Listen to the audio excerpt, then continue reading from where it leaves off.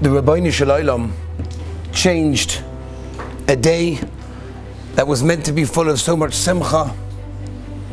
The day of Shmini Atzeres, the day of Simchas Torah, into one of the most saddest, painful days that anyone here has ever experienced in their lives.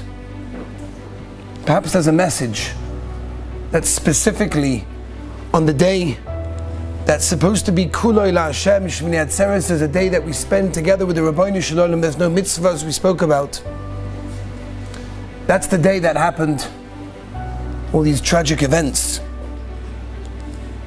And just a few days ago, we stood right here in this space of Medrash, by Ne'ilah, pleading for our lives, begging that it should be a good year, it should be a happy year, it should be a safe year, should be a successful year. Little did we know, little did we know in just a few hours after that Ne'ilah, what was being planned and how many people's lives got totally changed within just a few moments. I'm sure everybody by now has seen some of the images, pictures, and videos that are circulating around mothers being dragged away, people being shot point blank, bodies, dead bodies being dragged in different directions, body bags lined up, not one, two, or three, but tens and tens of body bags. Children, young, innocent children, looking completely petrified. Stories of rape, of women being paraded around without any clothes on. Families, whole families being wiped out in a matter of seconds. There's no memory of that family ever again. We haven't heard of something like this since the Holocaust. There has not been something like this since World War II. Children, sights, videos, and pictures of children, young little babies being locked in cages. Where do you see such a thing? Such cruelty. I spoke this evening to someone who's in one of the one of the territories that's a very dangerous place. As I'm speaking to him, you can hear the rockets falling. You can hear the sounds of the explosions. And he said that they had just caught, literally minutes before I spoke to him this afternoon, they had just caught four terrorists that were running around his settlement. Rav Moshe Sternbuch Shlita clearly said last night every single one of us is in a matzav of sakana. We have no idea how far this can go. That was, that was the word of Rav Moshe Sternbuch Shlita. And he said, Avada, we have to betochen in the Ribono Shel Olam, but we have to do our Ishtadlas. We have to do something. You know, once again on Yom Kippur, we read in the afternoon by Musaf, the Asara Harugei Malchus, the ten that were killed in such a barbaric, tragic way. And we read about Rabbi Akiva. Rabbi Akiva, and we read it over here in the Machzor, in this very base of Medrash, as did everyone else on Yom Kippurim about how they killed Rabbi Akiva. They took the iron combs and they combed his flesh off. And as they reached the Mokai Matfilin on his head, the Malachim screamed out and said, Zu Torah, Zu how can this be? This is Rabbi Akiva. This is our Rabbi Akiva that taught Torah to Klal Yisrael. Without Rabbi Akiva, where would we be? And this is the reward. This is the end of Rabbi Akiva's life.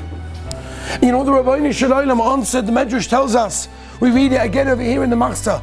The Medrash says, Chazal tell us that the Ribono Shel Olam told the Malachim, stop, because if you want to understand, I'm going to have to turn the world back into nothing. I'm going to have to destroy the world and recreate it. What does that mean? What, what, how do you understand that? The Vilna Gaon explains Pshat as follows. He says, imagine if a person is a very wealthy guy, he has beautifully, has silk, gorgeous silk, and he takes it to one of the finest tailors. And he says, I'd like you to make me a custom suit, beautiful, gorgeous suit. Takes his measurements this way, that way, where the button's gonna be, where the pocket's gonna be. It's gonna look gorgeous. This is the top, top tailor. This is the top guy. He knows how to make the most beautiful suit.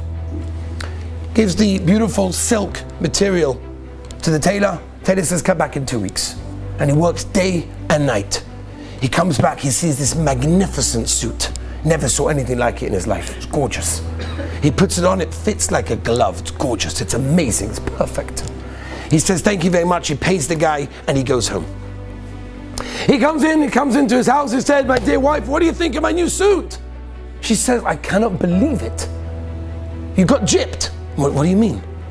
He's stolen half of that material. You know how expensive that material is? He stole half of it. He didn't use all that material on your suit. He's stolen half of it and he's going to sell it to others at a profit. He's going to make a fortune. Could you allow him? The guy was furious. How can he do this to me? He marches back to the guy. He says, Chutzpah, you didn't use all the material that I gave you for my suit. He said, Of course I did. No, you did not. He says, I did. He said, and they started arguing backwards and forwards until the tailor says, You want me? I'll, I'll show you. Take off your jacket. So he takes off the jacket and he starts ripping some of the stitches. The guy's like, What are you doing? He's like, Hold on a minute. You want to see? Hold on. And he starts ripping it apart. And as he's ripping this area and he's ripping that area, all of a sudden you can see the extra folds that you couldn't have seen when it was a full finished suit. But only when he opened it up and ruined the suit, that's when he saw that all the material that he gave him was actually used. Says the Vilna Gaon, the Ribono Shel Olam was telling the Malachim and ultimately us. The Shalom was saying, You want to understand why I do things? You're not going to understand. I'm going to have to rip the world apart and put it back together again just to show you why I did what I did. How many times do we have these questions and we think to ourselves, why? This doesn't make any sense. How can the Ribono Shel Olam do this? Avinu of Harachamon.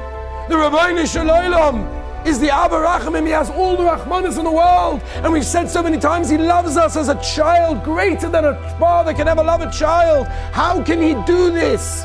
Hundreds and hundreds of people who were living a few days ago are no longer living. People that lost parents, children, siblings, families wiped out, and those that are injured, thousands of them, critically, seriously. That doesn't mean a small injury, it means that their lives could be different forever. In a matter of a few hours, how can the Ribono Shel Olam do this? Zuk Chazal, you'll never understand. If you came here tonight for answers, I'm not giving you, I'm not giving you answers. I don't have answers. I don't know if anybody has answers. We don't understand everything the Ribono Shel Olam does, but we know where it comes from. There's a Moedige Chofetz Chaim, where the Chofetz Chaim tells us that when the brothers came to Mitzrayim, they were bewildered. How did it how did it make any sense that the ruler of Mitzrayim, the ruler of Egypt, seemed to know what's going on? He knows our order of ages. He knows this, he knows that piece of information. A father, he knows too much. What's going on? All of a sudden, Yosef says, What? Ani Yosef. Ah, everything makes sense. Now we understand how they knew everything, how he knew this, how he knew that. Ani Yosef. That in this world we live in, we have so many questions. We don't understand why things are happening. We don't understand. It makes no sense to us. There'll be a time that the Ribono Shel Olam will stand up and say, Ani Hashem. And everything will make sense. All those situations that happened in our lives that didn't make any sense are going to make sense. And this is a question that Moshe Rabbeinu also suffered with as well as the Medrash tells us in Shemos Rabbah, that Moshe Rabbeinu asked the Ribono Shel Olam, Hareinu Noes which Chazal says to mean, he's asking, why is it that good people have bad lives? Why is it that bad people have good lives? The old aid question that Moshe Rabbeinu asked the Ribono Shel Olam, please show me. What do I do? How does this make sense? It doesn't make sense. It's terrible. It's tragic. Moshe Rabbeinu asked of Hashem. And how did Hashem respond?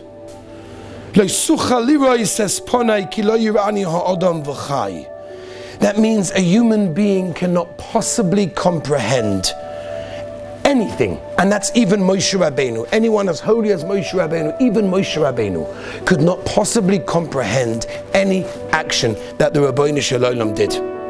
And the Rabban Shem said, You'll see my back, but my face will never be seen. It says the Heilige Chassam. You know what that means? That means that sometimes the Ribono Shel Olam brings on the world such suffering, such pain, such hardships, and we don't understand. But there will come a time that we will. And our job is to have the Emun and the Ribono Shel Olam. Our job is to realize and recognize where everything comes from. I was in con- contact a couple of hours ago with a soldier that told me he's in a very, very dangerous place. He said he can't tell me exactly where he is, but he's very, very close to a very dangerous place. That's all he was able to tell me. And this afternoon, one of the boys of yeshiva said to me, Rebbe, what can I do? I, I want to do something. I want to do. I feel I want to do something. No, I can't go out and fight. But what can I do, Lamaisa? What can I do? So I asked this soldier. So tell me something. The boys want to know. What can they do? Is there anything that they can do? You know what he said to me? Now, I, I, to be honest, I don't know who this is. Somebody gave me his number and said, Rebbe, call him up. He needs chizuk and mebracha before he. So I said, sure, no problem.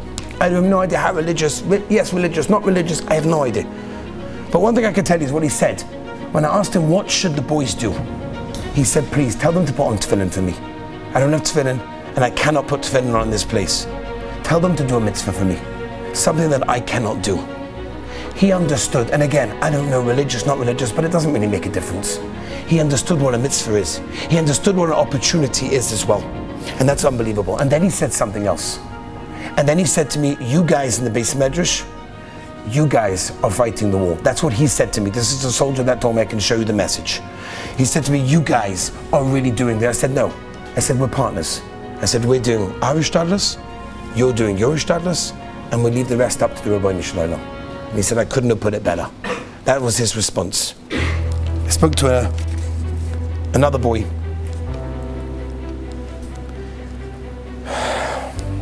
spoke to another soldier who was on his way up to the border to identify his cousin's body that was shot at the music festival on Simchas Torah. We were both crying on the phone. He had to identify the body. I said, What are you doing after that? He said, I'm going straight to the front. I have to serve, I have to protect. And I said, what do you want the boys to do? What do you want me to tell the boys? What could we do in yeshiva? Tell them to daven for me. That's it.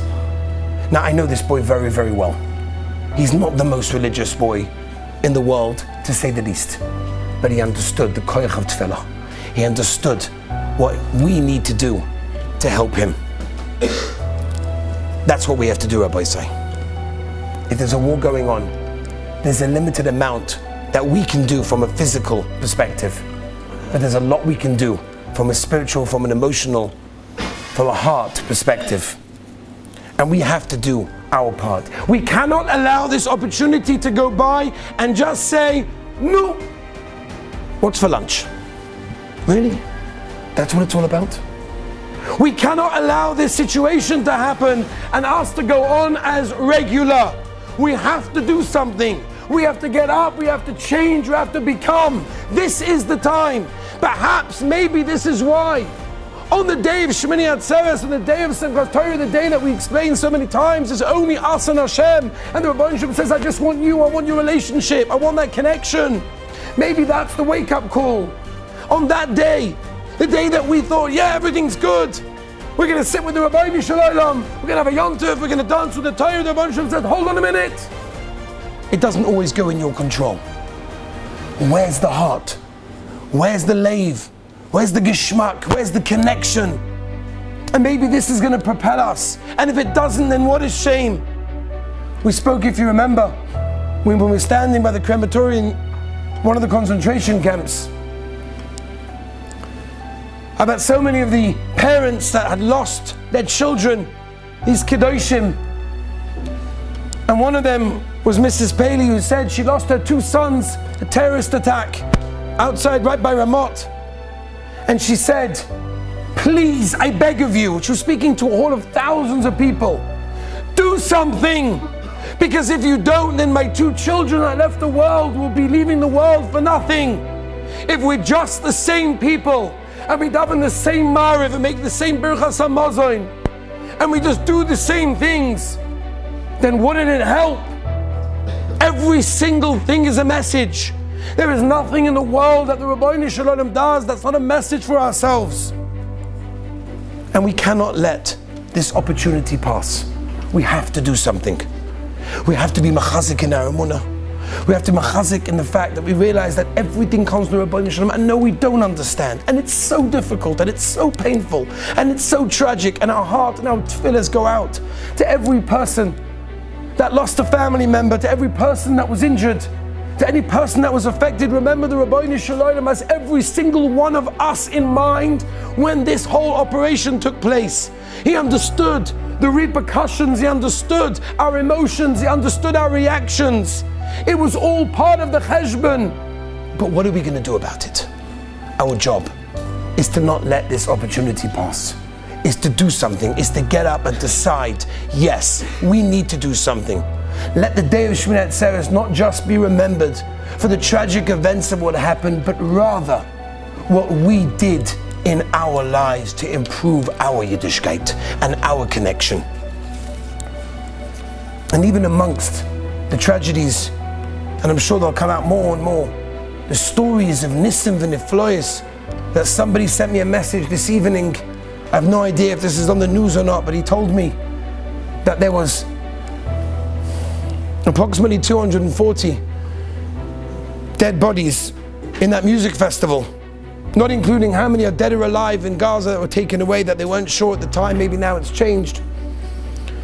But the Israelis had taken back one specific place where there are many terrorists and they were running around freely, but the Israelis came in, but they were worried. They knew that there were terrorists. So they started to hide and they went into a drain pipe. And in that drain pipe, they found a whole group of Jewish children who were hiding over there from the festival to hide themselves from the terrorists that were Baruch Hashem alive. And I'm sure there'll be many, many, many more of these little snippets just to give us a little bit of a munah. That when Yosef HaTzaddik went down to Mitzrayim, it was a terrible gzeira. It would cause terrible things. But as the Torah tells us, there was nice smelling spices. Why? Because even amongst sometimes when things are difficult, when things are hard, the Ribono Shel Olam slips in. Just remember, I'm still here with you. I'm still holding your hand. I'm here. This needs to happen. We don't understand. We'll never understand, maybe also. But we do realize, number one, it comes from the Rabbi. And number two, there's a message.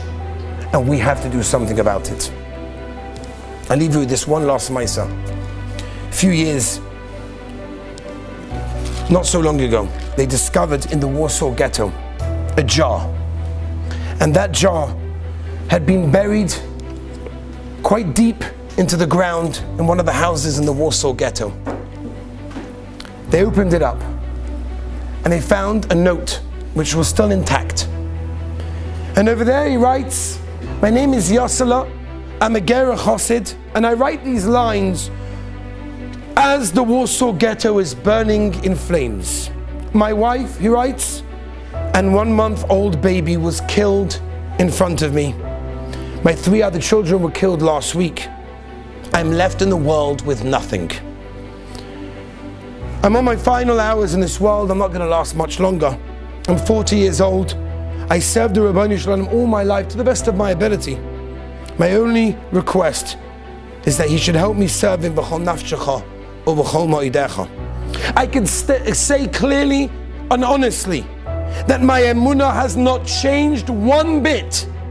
I believe in every single one of the 13 principles of faith. I believe in the Ribono Shel Olam fully. There is nothing that's changed. And he says, Ribono Shel Olam, you've done so much to me that I should be pushed away from you. You've done everything you can to distance our relationship, but Ribono Shel Olam, it's not going to work. I'm always with you. I'm always together with you, and I always believe in you. That's something that you'll never take away from me. Can you imagine what that means? For someone that witnessed his entire family being wiped out in front of his eyes, and there he is, full emuna and betochen in the Ribono Shel Olam. Why? Because even if we don't understand, and even if it's so difficult, we know ultimately everything comes from the Ribono Shel Olam. And yes, it's tragic, and yes, we have to daven, and yes, we have to be kabul to do things and learn Torah and do mitzvahs as best as we possibly can. But ultimately realize whatever's going on, we're under the shelter of the Ribono Shel Olam. He's running the show. And the more we're machazik in that, the more there's purpose to everything that happened.